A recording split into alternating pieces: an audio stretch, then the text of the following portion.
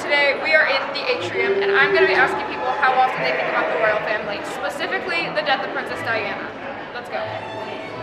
I am here with Riley Dower. uh, Izzy. Gavin Smith. I'm Ella. Riley, how often do you think about Princess Diana? Um, probably at least uh, two times a week. Every day. Every day. Every day. Every time I get in my car, I put on my seatbelt.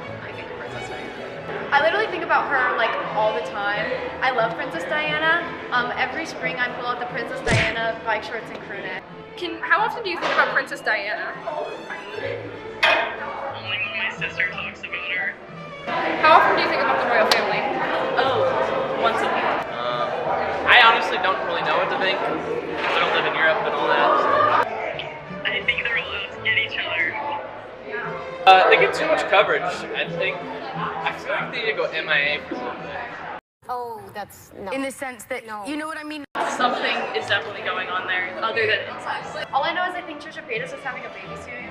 And right after Queen Elizabeth died, she had her baby. So honestly, I feel like this there's a correlation here. A lot of people are having opinions or think that it may be a situation similar to Queen, where he may be the next reincarnated baby of Trisha Paytas.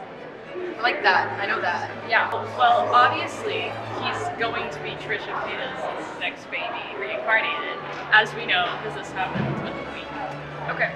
I mean, King Charles is a big boy, so I think he might come back from the dead. Yeah. Reincarnate. It's a possibility. Um, it, it could. It could be. I think that like she's reproducing the next generation of royals. I agree, I agree. honestly. You, you know what? Thank you so much. You're welcome. All right. Thank you, Gavin. Thank I you. it. Thank you very much. Thank you.